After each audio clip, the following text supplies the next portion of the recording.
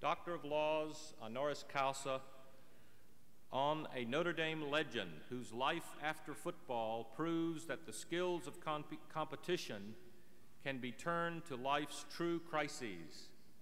Where once his fabled intensity inspired young athletes to accomplishment that they may not have deemed possible, so now, with the same energy, he marshals support for a team of scientists battling disease and time.